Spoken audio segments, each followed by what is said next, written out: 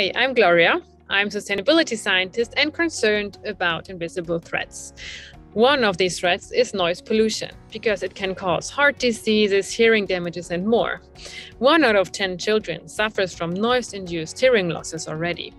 And that's why we have founded our first brand, Little Snooze, with an innovative way of absorbing and reflecting sound in headwear, beanie hats, and headbands.